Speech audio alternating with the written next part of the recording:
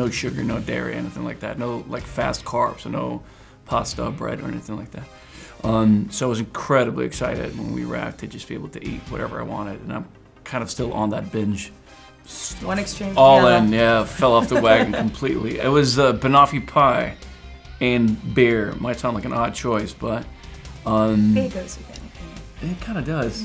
And banoffee pie goes with anything. With It's like, everything, yeah, yeah. match made in heaven. It was quite delicious, and I it wasn't a transition period. I was so excited to because I couldn't drink any alcohol for those nine months. You're still in that binge. We finished shooting in 2014. It's been two years of me just like crying and eating. like, I deserve it.